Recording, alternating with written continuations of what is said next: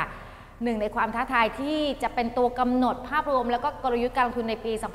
2560 มีการพูดถึงหนึ่งความเสี่ยงนะคะนั่นก็คือเรื่องของสถานการณ์การเมืองในต่างประเทศค่ะ โดยเฉพาะอย่างยิ่งในยุโรปนะคะ อะไรเป็นสาเหตุที่ทำให้เขาคิดแบบนั้น และที่สำคัญก็คือ เราจะบริหารจัดการความเสี่ยงที่อยู่นอกประเทศของเราแบบนี้ได้ยังไงบ้างนะคะ ดิฉันจะพาคุณผู้ชมค่ะไปฟังมุมมองนี้กันจากกูรูของทิสโก้นะคะ คุณคมสอนประกอบผลไปติดตามรายละเอียดกันในช่วงแรกค่ะ ครับในปี 2559 ที่ผ่านมาต้องยอมรับว่า ปัญหาเรื่องการเมืองระดับโลกนะครับมีผลต่อบรรยากาศการลงทุนพอสมควร ถ้าไล่เรียงดูในปี 2560 ในปีนี้ครับ มันมีปัจจัยทางการเมืองที่จะเกิดขึ้นแล้วก็กดดันบรรยากาศการลงทุนอย่างไรบ้างครับครับก็มีอีกเยอะนะครับโดยเฉพาะในยุโรปที่เราต้องจับตามองนะครับขออนุญาตย้อนไปปีที่แล้วนิดนึงเราก็เอ่อสถานการณ์การเมืองนะครับมันก็เอ่อไปชี้ไปในทางที่เหมือนจะมีความเสี่ยงมากขึ้นก็คือประชาชนเนี่ยค่อนข้างจะโหวตเอ่อเพื่อจะลงโทษนักการเมืองในระบบ แล้วก็ไปโหวตเอานักการเมืองหน้าใหม่ หรือว่านักการเมืองที่ต่อต้านเอ่อมีนโยบายแนวนโยบายที่ต่อต้านสถาบันนะครับเอ่อเราเห็น Brexit นะครับเมื่อปีที่แล้วเราเห็นเอ่อชัยชนะของทรัมป์ครับซึ่งซึ่งพลิกล็อกทุกคนนะครับเราเห็นเอ่อประชามติของอิตาลีอิตาลีนะครับที่อ่าประชาชนก็โหวตเอ่อต่อต้านรัฐบาลนะคครัรับบโหวตตรงกันข้ามกับที่รัฐบาลพยายามต้องการให้โหวตนะครับเอ่อปีนี้เนี่ยเอ่อก็เชื่อว่าแนวแนวของ การเมืองเนี่ยก็คงจะเป็นเป็นในทางทิศทางเดิมนะครับเอ่อแล้วก็ความเสี่ยงเนี่ยก็จะเพิ่มขึ้นด้วย เพราะว่าปีนี้เนี่ยเอ่อมีการเลือกตั้งค่อนข้างเยอะในครับยุโรปนะครับเอ่อเริ่มมาต้นปีเนี่ยเดือนเออมีนาคมวันที่ 15นะมีการเลือกตั้งของเนเธอร์แลนด์นะคครัรับบเอ่อเนเธอร์แลนด์เนี่ยก็ดูค่อนข้างจะมีความเสี่ยงเหมือนกัน ถ้าดูโพลปัจจุบันเนี่ยเอ่อพรรค PVV เนี่ยซึ่งเป็นซึ่งเป็นพรรคที่นโยบายค่อนข้างจะชาตินิยมอืมเอ่อเอ่อ ต่อต้านการเอ่อรับผู้อพยพนะครับครับนโยบายล่าสุดบอกว่าจะปิดมัสยิดให้หมดทั้งประเทศนะครับเอ่อแบนคัมภีร์อัลกุรอานครับครับผมก็เป็นพรรคที่นโยบายเนี่ยค่อนข้างจะสุดโต่งนะครับ ตอนนี้คะแนนนำอยู่เป็นที่หนึ่งด้วยนะครับ ก็เอ่อต้องจับตามองนะว่าถ้าเนเธอร์แลนด์เอ่อเลือกตั้งออกมา แล้วพรรคเนี่ย PVV เนี่ยเกิดชนะเลือกตั้งขึ้นมาเนี่ยครับเอ่อก็มีความเสี่ยงว่าเขาอาจจะมาในแนวเดียวกับอังกฤษนะครับ อาจจะประกาศทำ เอ่อ referendum ทำประชามติขึ้นมา เพื่อจะให้เนเธอร์แลนด์ซึ่งเป็นสมาชิกทั้งยูโรโซนทั้ง EU ด้วยเนี่ยออกไปจากจากยูโรนะครับก็เป็นความเสี่ยงอันที่หนึ่งครับในปีนี้นะครับอ่าถัดไปนะครับเดือนเมษายน มีเลือกตั้งประธานาธิบดีฝรั่งเศสครับครับผมฝรั่งเศสก็เป็นประเทศใหญ่นะเป็นหัวเรือใหญ่ของยูโรยุโรปโซนเลยด้วยซ้ำนะครับอ่าก็เหมือนจะก็มีความเสี่ยงอยู่บ้างเหมือนกันนะครับฝรั่งเศสเนี่ยอ่า ระบบเขาก็จะแปลกนิดนึงเวลาเลือกตั้งประธานาธิบดีเนี่ยเขาจะครับเลือกตั้งสองรอบอารอบแรกก็คือเอาผู้ชนะ2คนแรกที่มีคะแนนนำสองคนแรกครับเอ่อมาแล้วก็ไปเลือกในรอบที่2เพื่อจะเอาที่1เพื่อจะเป็นประธานาธิบดีนะคครัรับบเอ่อประเด็นก็จะมีว่าผมว่าจะความเสี่ยงก็จะอยู่ที่การเลือกตั้งรอบแรกนะครับ ซึ่งเอ่อจะมีขึ้นวันที่ 23 เมษายนครับเออรอบแรกเนี่ยจะเอาสองคน สองคนเนี่ยหนึ่งในนั้นเนี่ยคาดว่านะถ้าดูตามโพลปัจจุบันเนี่ยก็จะมีมารีนเลอแปงอยู่หนึ่งครับคนเลอแปงเนี่ยก็เป็นนโยบายคล้ายๆ กับพรรค PVV ที่เล่าให้ฟังเมื่อกี้เนี่ยนะครับอ่าชาตินิยมนะครับไม่รับผู้อพยพครับอ่าเคยพูดว่าจะทำประชามติออกจากสหภาพยุโรปยุโรปเหมือนกันนะครับอืมฉะนั้นเนี่ยถ้าเลือกตั้งรอบแรกแล้วมารีนเลอแปงเนี่ยยังอยู่ในการหนึ่แข่งงในสขัอนงยังอ่าชนะหนึ่งในสองเนี่ยแล้วความจริงมีโอกาสด้วยว่าเขาจะเป็นที่หนึ่งในการเลือกตั้งครั้งแรกด้วยซ้ำครัไปบผม ก็มีโอกาสที่ตลาดก็จะตกใจว่าเอ่อเลอแปงเนี่ยยังอยู่ในหนึ่งในสองยังมีคะแนนนำค่อนข้างเยอะนะครับครับซึ่งไปถึงการเลือกตั้งครั้งต่อไปเอ่อวันที่ 7 พฤษภาเนี่ยครับก็จะเป็นความเสี่ยงว่าฝรั่งเศสอาจจะมีผู้นำซึ่งเอ่อต่อต้านยุโรปมาอีกคนหนึ่งนะครับ แต่ว่าผมเชื่อว่าฝรั่งเศสเนี่ยในการเลือกตั้งรอบที่2เนี่ยความเสี่ยงยังไม่เยอะเท่าไหร่ เพราะว่าถ้าเราดูโพลที่เป็นโพลแบบ head to head ครับระหว่างคู่แข่งของเขานะฟรองซัวส์ ฟิยงกับ มารินเลอแปงเนี่ยครับฟิยงเนี่ยยังนำอยู่ค่อนข้างเยอะ ก็คือรอบแรกเนี่ยอาจจะดูสูสี แต่ว่าถ้ามาแข่ง 2 คนเนี่ยเอ่อก็ยังเชื่อว่าเหลือแปงเนี่ยจะแพ้ในการเลือกตั้งรอบที่ 2 อยู่นะครับครับอย่างนั้นก็เป็นความเสี่ยงหลักๆ ในปีหน้าของยุโรปนะครับครับความจริงเอ่อมีการเลือกตั้งเยอรมันด้วยนะครับในเดือนอ่ากันยายนอ่าแต่ว่าโพลปัจจุบันก็ยังเมอร์เคิลเนี่ยยังนำอยู่ค่อนข้างเยอะ ก็ยังไม่ได้มีคู่แข่งที่เอ่อ ที่มีมีที่ขึ้นมาเป็นคู่แข่งอย่างชัดเจนเท่าไหร่นะครับก็เชื่อว่าเมอร์เคิลก็คงยังอยู่ในตำแหน่งต่อไป ตอนนี้อยู่มาต่อเนื่องใน 15 ปีแล้วอ่าชนะอีกเทอมหนึ่งเนี่ยก็จะไปอยู่ยาวเลยเป็น 20 ปีนะครับอืมอันนี้มันจะคล้ายๆกับกรณี Brexit ใช่ไหมครับ คือคือเอ่อมันมีกรณีศึกษาอย่าง Brexit ออกมาแล้ว หลายประเทศในยุโรปก็อยากจะเดินตาม มีโอกาสที่จะเดินตามแบบนั้นใช่ไหมครับ ก็คือผมมองว่าโอกาสที่ประเทศอย่างเนเธอร์แลนด์อย่างฝรั่งเศส จะออกจาก EU หรือออกจากยูโรโซนออกจากยูโรนะครับอาจจะน้อยกว่าที่อังกฤษออกมันจะยากกว่านะครับเพราะว่าอังกฤษเนี่ยเอ่อหนึ่งคือเขาไม่ได้ใช้ค่าเงินเดียวกันอ๋อเขาใช้ค่าเงินปอนด์ของเขาเองใช่ไหมครับครับอ่าเป็นประเทศที่เป็นสมาชิกสหภาพยุโรป แต่ไม่ใช่สมาชิกยูโรโซนครับฉะนั้นเนี่ยอ่าความเกี่ยวเนื่องกันของทั้งเศรษฐกิจของทั้งอ่าระบบการเงินเนี่ยแบงก์ชาติอังกฤษก็มีแบงก์ชาติของตัวเอง ในขณะที่ยูโรโซนเนี่ยมี ECB เป็นครับคนควบคุมนโยบายคนเดียวนะครับฉะนั้นเนี่ย ความเกี่ยวเนื่องมันก็จะเยอะกว่าในกรณีของฝรั่งเศสแล้วก็เนเธอร์แลนด์นะครับโอกาสที่จะออกเนี่ยก็จะยากขึ้นนะครับอ่าฮะอ่าประชาชนเขาเองในประเทศเนี่ยถ้าไปดูผลสำรวจ ซึ่งก็ไม่แน่ใจว่าจะเชื่อได้หรือเปล่านะคครัรับบแต่ว่าผลสำรวจปัจจุบันเนี่ยส่วนใหญ่ก็ยังอยากจะอยู่ในยูโรโซนต่อไปนะครับก็เลยคิดว่า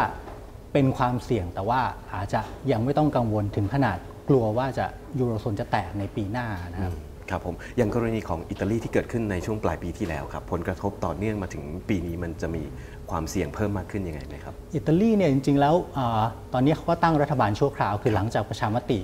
ซึ่งอ่าประชาชนในยโหวตไม่เห็นด้วยกับรัฐบาลเนี่ครัยบอ่าอ่านายกมาเตโอเรนซี่ก็ลาออกไปนะครับแล้วก็เกิดการตั้งรัฐบาลชั่วคราวขึ้นมา เพื่อจะบริหารประเทศต่อครับถ้ารัฐบาลนี้ยังยังบริหารประเทศต่อไปได้นะเพราะเขาจะไปเลือกตั้งอีกทีต้นปีหน้าต้นปี 2018 นะครับเอ่อ ก็อาจจะเบาใจได้ในกรณีของอิตาลีอาจจะเบาใจได้ไปอีกสักปีหนึ่งนะครับแต่ว่าก็ยังมีความเสี่ยงเหมือนกันว่ารัฐบาล ซึ่งเป็นรัฐบาลชั่วคราวเนี่ยอาจจะเสถียรภาพไม่ดีเหมือนรัฐบาลที่มาจากการเลือกตั้งตั้งแต่แรกนะครับครับก็มีโอกาสว่ารัฐบาลมันจะล้มก่อนกำหนดนะครับ ก็เป็นความเสี่ยงเหมือนกันว่ารัฐบาลล้มในปีนี้ แล้วก็เกิดการเลือกตั้งในปีนี้เนี่ยครับเอ่ออิตาลีก็อาจจะเป็นอีกประเทศหนึ่งที่ต้องต้องจับตามองเหมือนกัน เพราะว่าเอ่อ พรรคที่ไม่เอายูโรในอิตาลีเนี่ยก็คะแนนนำเหมือนกันนะครับพรรคพรรค Five Star Movement เนี่ยครับผมก็มีคะแนนนำค่อนข้างเยอะเหมือนกัน ถ้าเกิดการเลือกตั้งในปี 2017 เนี่ยก็ก็นับเป็นความเสี่ยงเหมือนกันในยุโรปอืมอย่างกรีซเองเคยเคยเป็นประเทศหนึ่งที่สร้างความผันผวนให้ตลาดพอสมควร ปี 2560 นี้จะมีอะไรที่ที่มีผลกระทบจากกรีซไหมครับกรีซจริง ๆ ช่วงนี้ค่อนข้างเงียบนะเพิ่งเพิ่งได้รับเงินช่วยเหลือไปจากจากยูโรนะครับก็ คิดว่าไม่น่าจะมีปัญหาอะไรก็คือเขาก็เริ่มทำตัวเป็นคนดี แล้วเริ่มไม่ได้ไม่ได้เอ่อมีทีท่าแข็งกร้าวเหมือนเดิมละครับพยายามทำตามแผนฟื้นฟูประเทศนะครับ ซึ่งก็ก็ได้ผลค่อนข้างดีแผนปฏิรูปต่างๆ ที่เอ่อทางเจ้าหนี้เอ่อบอกให้ทำเนี่ยก็ทำตามมาได้ค่อนข้างดีนะครับก็เลยคิดว่ากรีซเนี่ยน่าจะเงียบไปในปีหน้าในปีในปี 2017 นี้นะครับอืมครับผมเอ่อย้อนกลับไปดูปีที่แล้วกรณีของ Brexit รวมถึงชัยชนะของทรัมป์เองอา สองกรณีนี้มันจะมีผลข้ามมาปีนี้ แล้วก็มีผลกระทบต่อบรรยากาศการลงทุนยังไงบ้างครับเอ่อผมมองว่าทั้งสองกรณีเนี่ยผลกระทบจริงๆเนี่ยอยู่ในปีนี้ถ้าเป็นส่วนใหญ่โดยซ้ำไปนะครับ Brexit เนี่ยจะเริ่มกันจริง ๆ ก็น่าจะเป็นช่วงไตรมาสหนึ่งที่อังกฤษเนี่ยจะประกาศออกจากยุโรปอย่างเป็นอย่างเป็นทางการทางการนะครับโดยเอ่อประกาศตามมาตราครับ50นะครับก็น่าจะเริ่มการเจรจาอย่างเป็นทางการเนี่ย ในไตรมาสหนึ่งปีนี้ ซึ่งพอเริ่มเจรจาเนี่ยแน่นอนมันก็จะมีความผันผวนครับของตลาดนะครับอาตอนนี้เราก็ได้แต่ได้แต่คาดเดากันไปว่าผลการเจรจาจะเป็นยังไงนะแต่ว่าท่าทีที่ผ่านมา development ที่ผ่านมาก็คืออังกฤษเนี่ยท่าทีเนี่ยค่อนข้างจะอ่อนลง ก็คืออาจจะยอมอาจ่ายเงินเคยพูดว่าจะยอมจ่ายเงินเข้าสหภาพยุโรปจ่ายเงินสมทบนะคครัรับบเพื่อจะ ให้สามารถอยู่ในระบบตลาดเดียวได้ต่อไปาสามารถซื้อขายโดยไม่มีภาษีทั้งการสินค้าทั้งบริการนะครับได้ต่อไป แต่ตัวเองคือจะออกไปจากกลุ่มแล้ว แต่ยังคงมีก็ exposure อยู่ใน EU อยู่ ก็คือคือนักการเมืองแล้วก็ประชาชนส่วนใหญ่เนี่ยคือถ้าถ้าเกิดอ่าไอ้พวกสิทธิประโยชน์ทางการค้าทางบริการเนี่ยมันมันหายไปหมดในทีเดียวเนี่ยมันก็ส่งผลกระทบอ๋อรุนแรงมากกับครับเศรษฐกิจนะครับซึ่งเขากลัวกันเขาเรียกกันว่า hard Brexit อ่าอันนี้ก็เป็นเป็นความเสี่ยงหลัก ๆ ที่ ที่ทั้งโลกกลัวกันว่าทางอังกฤษ มีท่าทีที่แข็งกร้าวมากๆเอ่อไม่ยอมรับเงื่อนไขจากยูโรเลยครับออกจากระบบตลาดเดียวไปเลย กลับมามีภาษีต่อกันเหมือนเดิมเนี่ยอ่าฮะเอ่อผลกระทบต่อทั้งทั้งอังกฤษเองทั้งยูโรโซนเองเนี่ยมันมันจะค่อนข้างรุนแรง แต่ว่าถ้าดู development ที่ผ่านมาเนี่ยท่าทีของอังกฤษก็อ่อนอ่อนลง พยายามจะเอออยู่ในระบบตลาดเดียวต่อไปมากขึ้นนะครับก็เป็นสัญญาณที่ดีว่าการเจรจาที่จะเริ่มต้นในไตรมาสหนึ่งปีนี้เนี่ยอาจจะเอ่อ ได้ผลที่ไม่ได้น่ากลัวอย่างที่คิดกันกังวลกันในปีที่แล้วนะครับอ่า develop ของ Brexit มันจะมีอะไรต่อจากต่อไปจากตลอดทั้งปีนี้ไหมครับ ก็เอ่อความจริงตอนนี้เนี่ยรออยู่ว่ารอศาลในอังกฤษเนี่ยตัดสินอยู่ว่าครับแผนการเจรจาเนี่ยตกลงแล้วต้องต้องผ่านสภาก่อนหรือเปล่าอืมก็ก่อนหนั้นเนี่ยตัดตัดสินมาแล้วรอบหนึ่งครับแต่ว่ารัฐบาลเนี่ยอุทธรณ์ ตอนนี้ศาลตัดสินว่าต้องเอาแผนที่จะไปเจรจาเนี่ยมาผ่านสภาครับให้สภาถกเถียงกันให้เสร็จก่อนแล้วค่อยเอาไปเจรจากับทางยุโรปครับแต่ว่ารัฐบาลอังกฤษเนี่ยก็ก็ยังยืนยันว่าตัวเองเนี่ยมีสิทธิ์ในการเจรจาไม่ต้องผ่านสภาครับผมก็อุทธรณ์กับศาลอยู่ฉะนั้นเนี่ยก็อยู่ที่ศาลอีกทีหนึ่งว่าจะตัดสินไปในทิศทางไหนนะครับ แต่ว่าเอ่อทั้งรัฐบาลทั้งสภาเนี่ยท่าทีทั้งคู่เนี่ยก็อ่อนลงฉะนั้นเนี่ยเราก็ดูค่อนข้างจะเป็นบวกในประเด็นนี้นะครับ ครับผมอย่างกรณีของทรัมป์ครับที่ครับพลิกล็อกถล่มทลาย มาในปีนี้แล้วนโยบายที่เคยประกาศไว้ในช่วงหาเสียง ความกังวลของตลาดทั่วโลก ปีนี้ผลกระทบหรือว่าสถานการณ์จริง ถ้ามันเกิดขึ้นจริงมันจะมีผลยังไงบ้างครับจริงๆทรัมป์เนี่ยพลิกล็อกทั้งทั้งทางด้านเอ่อผลการเลือกตั้งครับแล้วก็ผลกับตลาดด้วยนะครับเอ่อก่อนเลือกตั้งทุกคนก็บอกว่าถ้าทรัมป์มาเนี่ยตลาดคงจะวุ่นวายวุ่นวายแน่นอนเอ่อ ทองก็ต้องขึ้น ตลาดหุ้นก็จะลงนะครับ ดอลลาร์จะอ่อนอ่าฮะพอทรัมป์ชนะปุ๊บ ผ่านไป 2 วันทุกอย่างกลับตลปัดหมดเลยนะ ตลาดครับหุ้นเนี่ยก็แรลลี่ขึ้นมากันหมดทั้งโลกทำ new นะครับ high ด้วยอ่าทำนิวไฮใช่ไหมครับทองก็ลงต่อเนื่องอามันก็ก็ค่อนข้างจะผิดคาดนะครับครับโดยที่เอ่อความคาดหวังต่อนโยบายของทรัมป์เนี่ยหลัก ๆ ที่ทำให้หุ้นขึ้นเนี่ยมันก็เหมือนเป็นการเปลี่ยนโหมดการเติบโตทางเศรษฐกิจเปลี่ยนโหมดเอ่อนโยบายทางเศรษฐกิจนะครับจากที่ 2016 เนี่ยทุกคนคาดหวังกับนโยบายการเงินครับมีการลดดอกเบี้ยอ๋อมีการทำ QE ใช่ไหมครับ มีการใช้นโยบายดอกเบี้ยติดลบอืมในยุโรปในญี่ปุ่นครับเพื่อจะกระตุ้นให้เงินเฟ้อมันกลับมา กระตุ้นให้เศรษฐกิจที่ชะลอตัวเนี่ยมันฟื้นตัวขึ้นครับเอ่อ2016 เนี่ยทำนโยบายการเงินกันไปจนแทบจะสุดทางแล้วอ่าลดดอกเบี้ยดอกเบี้ยติดลบกันจนแบงก์จะเจ๊งกันทั้งโลกนะครับอ่าไม่มีความหวังอะไรใหม่ๆ เพราะว่านโยบายการเงินก็เหมือนกับอ่าค่อนข้างจะหมดประสิทธิภาพครับพ อทรัมป์เข้ามาเนี่ยมันก็กลายเป็นความหวังใหม่ของเศรษฐกิจโลกนะอ่าเป็นการชิฟจากนโยบายการเงินมาที่มาโฟกัสที่นโยบายการคลังมากขึ้นครับอ่าแนวนโยบายหลักๆ ก็จะมีการเช่น การลดภาษี เพื่อจะช่วยให้อ่าเศรษฐธุรกิจในอเมริกาเนี่ยดีขึ้นนะครับอ่าการอ่าลงทุนโครงสร้างพื้นฐานนะครับซึ่งก็เป็นการกระตุ้นด้านการคลัง ก็คือเอาเงินงบประมาณเนี่ยมาใช้เพื่อกระตุ้นเศรษฐกิจครับก็เลยเป็นความหวังของเศรษฐกิจโลกว่าเศรษฐกิจที่ปี 2016 เนี่ย เติบโตช้าที่สุดตั้งแต่คริสิสเป็นต้นมาคริสิส2008 นะครับ 2017 เนี่ยน่าจะเห็นภาพเศรษฐกิจที่มันฟื้นตัวขึ้น ก็เลยกลายเป็นว่าตลาดหุ้นเนี่ยมันก็เลยแรลลี่ขึ้นมาครับหลังจากทรัมป์ชนะเลือกตั้งนะครับ ทีนี้ในปี 2017 เนี่ยเราต้องจับตาดูอะไรนะครับครับ2016 ที่ผ่านมาก็เหมือนกับเป็นความคาดหวังแต่ว่านโยบายจริงเนี่ยอ่ายังไม่ได้เกิดสักอย่างหนึ่งทรัมป์ยังไม่ได้รับตำแหน่งด้วยซ้ำไปนะคครัรับบเขาจะรับตำแหน่งเนี่ยเป็นทางการในวันที่ 20 มกราอืม แล้วก็ที่พูดกันเนี่ยก็คือเอ่อ100วันแรกว่าทรัมป์จะทำอะไร เพราะว่าเอ่อช่วงที่หาเสียงเนี่ยครับก็มีการสัญญาค่อนข้างเยอะนะครับ เรามองว่าร้อยวันแรกที่จะเกิดขึ้นเนี่ยน่าจะเป็นนโยบายที่ค่อนข้างบวกกับเศรษฐกิจเป็นหลักครับถ้าดูนโยบายของทรัมป์นะครับถ้าแบ่งเป็น 4 กลุ่มด้วยกันครับเอ่อหนึ่งก็คือนโยบายด้านภาษีเอ่อสองก็คือนโยบายด้านการเอ่อ deregulation ก็คือลดลดข้อจำกัดลดกฎเกณฑ์ของพวกเอ่อ ธุรกิจพวกแบงก์หรือพวก Energy ในอเมริกานะครับเอ่อแล้วก็ 3 ก็คือนโยบายด้านเทรด ด้านการค้าขายระหว่างประเทศครับเอ่อแล้วก็ 4 ก็คือนโยบายเอ่อด้านเอ่อด้านการลงทุนโครงสร้างพื้นฐานนะครับเอ่อเรามองว่า 4 กลุ่มเนี้ยสองกลุ่มแรกเนี่ยน่าจะให้เริ่มเห็นใน 100 วันแรกอ่าก็คือเราน่าจะเริ่มเห็นอันแรกนี่คือลดภาษีก่อนครับเออที่มองว่าโอกาสที่จะลดภาษีเนี่ยเป็นไปได้ค่อนข้างมาก เพราะว่าเอ่อ นโยบายของทรัมป์เองของประธานาธิบดีเนี่ยกับนโยบายของสภาคองเกรสเนี่ยค่อนข้างจะเป็นไปในแนวในแนวทางเดียวกันนะครับคองเกรสเนี่ยเอ่อนำโดยพรรคริพับลิกันเหมือนกันครับผมเอ่อทั้งสภาสูงสภาล่างนะครับโดยรีพับลิกันเนี่ยนโยบายหลักๆ ก็ต้องการจะลดภาษีอยู่ละฉะนั้นเนี่ยพออาทั้งทรัมป์ทั้งสภาสูงสุดภาล่างเป็นริพับลิกันทั้งหมดเนี่ยการลดภาษีมันก็น่าจะทำได้ง่ายนะครับเราน่าอาจจะเห็นภาษีเอ่อภาษีของบริษัท ภาษีนิติบุคคลในอเมริกาเนี่ยลดจากปัจจุบันครับผม35%อาจจะลงมาเหลือสักประมาณ 25%ก็ลดลงไปค่อนข้างเยอะนะครับ ก่อนหน้านี้อเมริกาแทบจะเป็นประเทศที่ภาษีนิติบุคคลเนี่ยสูงที่สุดในโลกครับตอนนี้ก็จะลงมาอยู่ที่ระดับค่าเฉลี่ยของประเทศพัฒนาแล้วนะครับ ก็น่าจะทำให้ธุรกิจในอเมริกาเนี่ยแข่งขันกับต่างประเทศได้ดีขึ้นกำไรของบริษัทก็น่าจะดีดีขึ้ขึ้นนจากภาษีที่ลดลง เราก็มองว่าน่าจะเป็นข่าวบวกอืมอันที่หนึ่งนะครับเอ่ออีกด้านหนึ่งก็คือนโยบายด้านด้าน deregulation ครับด้านการลดข้อจำกัดให้ธุรกิจเอ่อทำธุรกิจได้ยืดหยุ่นขึ้นนะครับเอ่อแบงก์อาจจะได้ประโยชน์จากนี้เป็นหลักนะครับก็คือเอ่อข้อจำกัดด้านเอ่อ capital requirement ทั้งหลายแหล่เนี่ยก็อาจจะผ่อนคลายลงครับทำให้เอ่อแบงก์เนี่ยเอ่อมีกำไรที่ดีขึ้นนะครับสองอันนี้เนี่ยคิดว่าน่าจะเกิดได้เร็ว แล้วก็ครับน่าจะเป็นเอ่อประเด็นที่ขับเคลื่อนตลาดอ๋อต่อได้ในช่วงครึ่งปีแรกนะคครัรับบเอ่อ ส่วนนโยบายอื่น ๆ ที่กลัวกันนะครับเช่นนโยบายตั้งกำแพงภาษีเอ่อโจมเอ่อสร้างเอ่อสงครามการค้านะ trade war กับจีนกับเม็กซิโก พวกครับนี้เนี่ยเราคิดว่าเอ่อถ้าตามกฎหมายนะความจริงเนี่ยนโยบายพวกนี้เนี่ยประธานาธิบดีสามารถประกาศได้เลย โดยที่ไม่ต้องผ่านสภาโดยซ้ำไปครับหลาย ๆ คนก็เลยกลัวว่ามันเป็นอำนาจของประธานาธิบดีเนี่ยทรัมป์ซึ่งอืมซึ่งก็ไม่ ไม่ไม่ค่อยมีใครรู้จักว่าเขาเป็นใครเท่าไหร่นะไม่แน่ใจว่าจะทำอะไรเนี่ยก็เลยค่อนข้างจะเป็นความเสี่ยงว่าทรัมป์ก็อาจจะใช้อำนาจประธานาธิบดีในการประกาศเอ่อพวกนโยบายภาษีนำเข้าพวกนี้เนี่ยซึ่งอาจจะเป็นความเสี่ยงในปีหน้านะครับ แต่เรามองว่าโอกาสก็ค่อนข้างน้อยนะครับซึ่งเขาจะทำอะไรรุนแรงขนาดนั้นนะครับ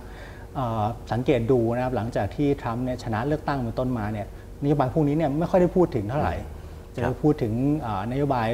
ลดภาษีอะไรมากกว่านะครับ นโยบายพวกเรื่องอาสร้างกำแพงจากเม็กซิโก ตอนแรกตอนหาเสียงก็บอกเป็นกำแพง ตอนหลังก็เริ่มอ่อนลงมาเป็นรั้วครับตอนหลังบางคนก็บอกว่าไม่ไม่ต้องมีกำแพงก็ได้ แต่ว่าพยายามจำกัดอ่าพวกอ่าผู้อพยพอืมจำนวนผู้อพยพซะมากกว่านะครับฉะนั้นเนี่ยอันนโยบายพวกพวกนี้เนี่ยนโยบายที่ดูค่อนข้างรุนแรงเนี่ครัยบเอ่อ คิดว่าโอกาสที่จะเห็นในปีหน้าโอกาสที่จะเกิดขึ้นเนี่ยมีค่อนข้างน้อย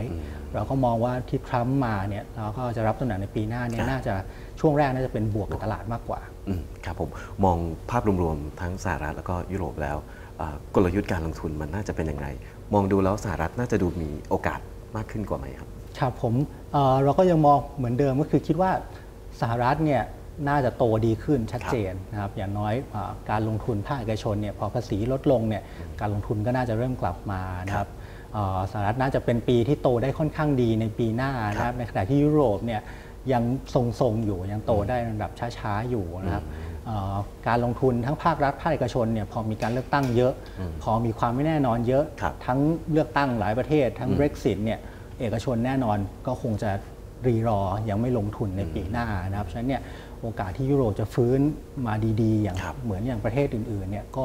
อาจจะมีโอกาสน้อยกว่าสหรัฐอืมนั่นหมายความว่าโฟลหรือว่ากระแสเงินที่มันอยู่ในยุโรปมันอาจจะเคลื่อนย้ายมาในสหรัฐหรือไปหาผลตอบแทนในภูมิภาคอื่นแบบนั้นใช่ไหมครับ ครับผมจริงๆเราเริ่มเห็นเทรนด์นี้ก็มาตั้งแต่ทรัมป์ชนะเลือกตั้งแล้วนะโฟลเนี่ยเอ่อหนึ่งก็คือไหลออกจากบอลไหลออกจากจากตลาดตลาดตราสารหนี้เพราะว่าพอทรัมป์มาเนี่ยพอใช้นโยบายการคลังรัฐบาลกู้เงินเยอะ บอลยิวก็เลยกลับเป็นขาขึ้นนะครับเอ่อคนถือบอลก็เลยขาดทุนครับอ่าเงินก็ไหลออกจากตลาดบอลไปนะครับออกจากตลาดบอลไปไหนก็ไปเข้าหุ้นในสหรัฐครับที่เราคุยกันเรื่องลดภาษีเรื่อง deregulation ที่จะได้ประโยชน์พวกนี้เนี่ยครับอ่าเงินก็เลยไหลจากบอลไปเข้าหุ้นสหรัฐนะครับสองก็คือไหลออกจากตลาดหุ้นข้างนอกนะตลาดหุ้นยุโรปตลาดหุ้น emerging market ครับจะเห็นปลายปีที่แล้วเนี่ยอ่าฝรั่งขายหุ้นไทยกันไปอ่าหลายหมื่นล้านนะครับก็อ่า กลับไปเข้าหุ้นสหรัฐเหมือนกันนะครับก็ยังน่าจะเห็นเทรนด์อย่างเงี้ยเป็นไปอยู่ต่อเนื่องอย่างน้อยในช่วงครึ่งปีแรก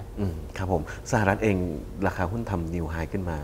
อาอย่างต่อเนื่องโฟลที่มันเข้าไปมันจะเป็นอัพไซด์ดันนิวไฮต่อเนื่อง รับกับนโยบายทรัมป์ต่อไปอีกไหมครับเอ่อเรามองว่าปี 2017 เนี่ยความจริงหุ้นเนี่ยมีโอกาสขึ้นได้ต่อทั้งโลกนะเพราะว่าเอ่อถ้าไปดูผลกำไรของบริษัททั้งโลกของตลาดหุ้นทั้งโลกเนี่ยเอ่อ 2000 ตั้งแต่ 2014 ถึง 2016 เป็นต้นมาเนี่ยกำไรเนี่ยแฟลตทั้งโลกก็คือไม่โตไม่โตเลยครับ3ปีติดนะครับของไทยก็เป็นเหมือนกันครับ2017 เนี่ยจะเป็นปีแรกที่เราเห็นกำไรเนี่ยเริ่มกลับมาโตได้อ๋อเพราะฉะนั้นเนี่ยเอ่อ valuation ของตลาดหุ้นที่เรามองว่าแพงกันมาอ่าตลอดเนี่ยเอ่อก็เพราะว่ากำไรมันไม่เติบโตอ่าแต่พอ 2017 เนี่ยเริ่มเห็นกำไรมันกลับมาโตได้เนี่ยอืมเอ่อตลาดหุ้นอย่างน้อยเนี่ย valuation เท่าเดิม แต่ว่ากำไรเนี่ยมี growth เนี่ยเอ่อหุ้นก็จะขึ้นได้เท่ากับ growth ของกำไรก็อาจจะอยู่สักประมาณ 8-10%ทั่วโลกนะครับ อืมครับผมนักลงทุนไทยเองมี exposure ในหุ้นทั้งยุโรปแล้วก็สหรัฐพอสมควรสำหรับคนที่ลงทุนอยู่มีคำแนะนำยังไงครับผม เอ่อเราคิดว่าสหรัฐเนี่ยดูมีภาษีดีกว่าในครับปีหน้านะความจริงก็คอมาตั้งแต่ปลายปีที่แล้วแล้วว่าเอ่อในในหุ้นต่างประเทศเนี่ยเราชอบสหรัฐครับที่สุดนะครับแล้วก็ชอบญี่ปุ่นอีกประเทศหนึ่งครับซึ่งจะได้ประโยชน์จากนโยบายของทรัมป์ก็คือพอเออสหรัฐเศรษฐกิจดี ดอลลาร์แข็งเนี่ยครัก็บกลายเป็นเยนเนี่ยอ่อนโดยเปรียบเทียบครับ ก็ทำให้ญี่ปุ่นเนี่ยเป็นอีกประเทศหนึ่งที่น่าจะให้ผลตอบแทนได้ดีในปี 2017อ่านะครับครับผมพูดถึงญี่ปุ่นนิดนึงขยายความความน่าสนใจเพิ่มเติมอีกนิดนึงครับครับผมก็ญี่ปุ่นจริงๆเนี่ยนโยบายการเงินที่ประกาศออกมาเนี่ยค่อนข้างจะเอื้อกับการฟื้นตัวของเศรษฐกิจในประเทศนะครับเอ่อนโยบายล่าสุดก็คือ yield curve control ครับก็คือพยายามจะควบคุมบอลยิวเนี่ยไม่ให้เพิ่มขึ้นครับตามประเทศอื่นๆ ตอนนี้yield curve เนี่ยเอ่อขึ้นทั้งโลกนะครับก็คือเอ่อ ผลตอบแทนพันธบัตรเนี่ยปรับตัวเพิ่มขึ้นทั้งโลก แต่ว่าญี่ปุ่นเนื่องจากนโยบายการเงินของเขาพยายามควบคุมให้